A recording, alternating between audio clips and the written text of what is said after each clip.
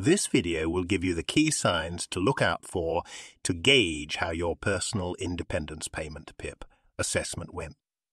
Before we dive in, take a moment to like, subscribe, and comment to support our channel. Feeling listened to during the assessment is a good indicator that it went well.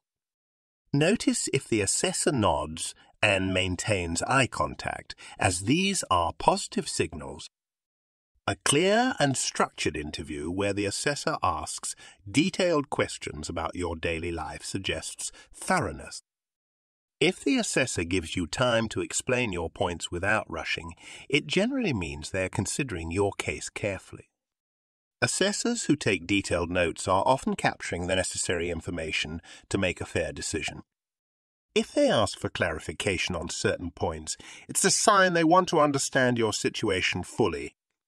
When an assessor explains the next steps clearly, it shows professionalism and can imply a positive outcome. Feeling a sense of rapport and empathy from the assessor can often lead to a more favorable assessment. If the assessor discusses how your disability affects your daily life, it indicates they are assessing your needs properly. A good sign is if the assessment does not feel like an interrogation, but more like a conversation. If you're asked to perform physical tasks, an assessor who is patient and respectful of your limitations is a positive sign an assessor who acknowledges your input and thanks you for your time is demonstrating respect for your effort. When the assessment concludes, if you're told when to expect a decision, it shows the process is on track. If you leave the assessment with a clear understanding of what was discussed, it's likely a good sign. Feeling that your assessor was impartial and not dismissive of your condition can indicate a fair assessment. After the assessment, if the assessor offers additional resources or support, it's a sign of a comprehensive approach.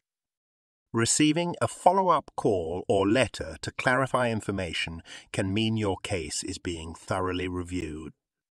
If you felt at ease to share all relevant information about your condition, it typically means the assessment environment was supportive.